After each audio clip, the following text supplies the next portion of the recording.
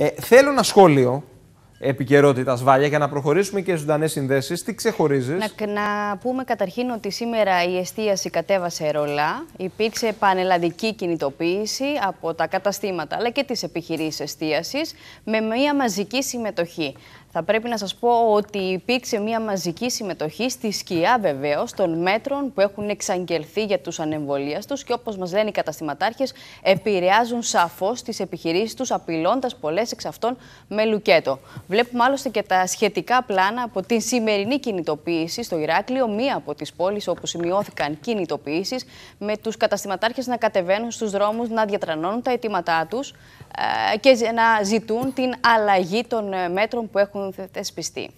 Εγώ θα σταθώ βέβαια στο γεγονός ότι υπήρχε καθολική συμμετοχή στην συγκεκριμένη απεργιακή κινητοποίηση. Ήταν μια άριστα οργανωμένη κινητοποίηση πανελλαδικά και σε τοπικό επίπεδο και στις τέσσερις περιφερειακές ενότητες Κρήτης υπήρχε πάνω από το 95%. Πάνω, πάνω από το 95% η πρώτη κορονοαπεργία θα μπορούσαμε να πούμε.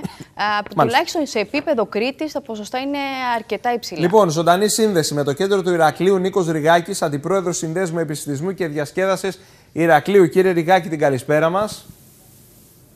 Καλησπέρα και από μένα. Καλησπέρα τηλεθεατές σας. Όντως υπήρχε μια καθολική συμμετοχή των επαγγελματιών εστίασης των συναδέλφων σας στη σημερινή κινητοποίηση. Ποιο είναι το μήνυμα το οποίο εστάλει;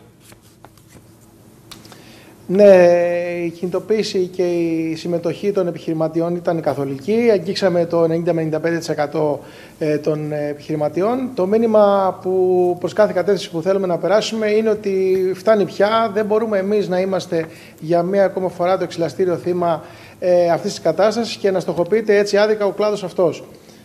Κύριε Ριγάκη, κάνατε κάποιες κινητοποίησεις συγκεκριμένες σήμερα, δώσατε κάποια ψηφίσματα με σκοπό να φτάσουν μέχρι και τα αρμόδια Υπουργεία; Και τι περιείχαν τα ψηφίσματά ε, σας; Ναι, είχαμε το μεσημέρι μετά λοιπόν από τη συγκέντρωση, κατά διάρκεια μάλλον συγκέντρωσης, μία συνάντηση με τον Περιφερειάρχη, τον κύριο Ναουτάκη, ε, όπου καταθέσαμε, καταθέσαμε το, το ψήφισμά μας. Ε, αυτό που ζητάμε είναι, ε, τα, τα περαιτέρω μέτρα είναι ενίσχυση του κλάδου ε, και η μία αποπληρωμή των επιστραπτέων ε, δόσεων που έχουμε πάρει, των ε, χρημάτων αυτό, η επιδέτηση των ενοικίων, είναι οι αναστολές στους υπαλλήλους, στους εργαζόμενους μας. Είναι πολλά τα ζητούμενά μας, αλλά ένα, ένα από τα κύρια ζητούμενα είναι ότι δεν μπορούμε πλέον εμείς, στα μέτρα αυτά που έχει εξαγγείλει η κυβέρνηση, να είμαστε οι ελεγκτές των καταστημάτων μας και των ανθρώπων οι οποίοι έρχονται να μας επισκεφτούν. Αυτό δηλαδή το μέτρο του να ελέγχετε όσους ανθρώπους θέλουν να μπουν στα καταστήματά σας, θεωρείτε ότι επιφέρει και μείωση του τζίρου σας κατ' επέκταση; Δεν είναι μόνο το κομμάτι των ελέγχων. Ε, παρατηρούμε όλο αυτό το διάστημα που έχει εφαρμοστεί αυτό το τελευταίο δεκαήμερο αυτό το μέτρο, ότι πλέον ο κόσμος έχει σταματήσει να έρχεται στα καταστήματα, έχει πέσει η κινητικότητα πάνω από το 50%.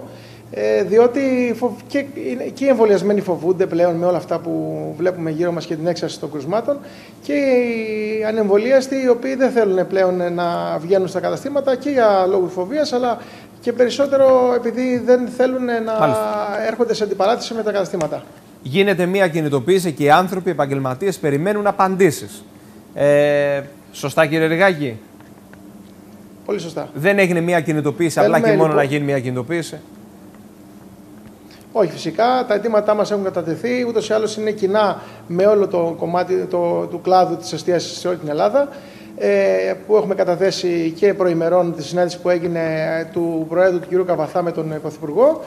Ε, είδαμε βέβαια και κάποιες δηλώσεις σήμερα το πρωί του κ. Άδων Γεωργιάδη που έλεγε κάτι εντελώς αντίθετο από αυτά που περιμέναμε.